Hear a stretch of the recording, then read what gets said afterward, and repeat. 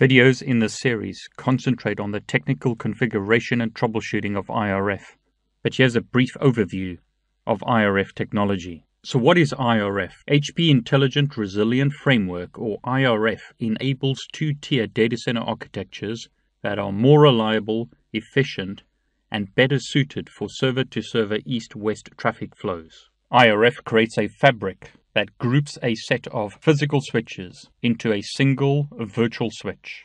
IRF simplifies network management as several switches in the IRF fabric are managed as a single virtual switch with a single IP address.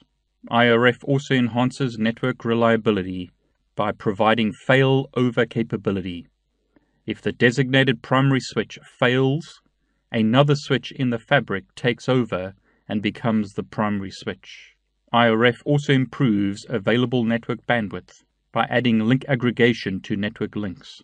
Each network node gains access to the entire bandwidth of the aggregated links. Most importantly, reducing failure recovery time and dramatically enhancing network availability.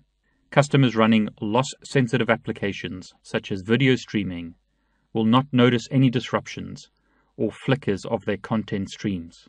IRF features make it ideal for enterprise workload mobility and vMotion traffic, especially between data centers.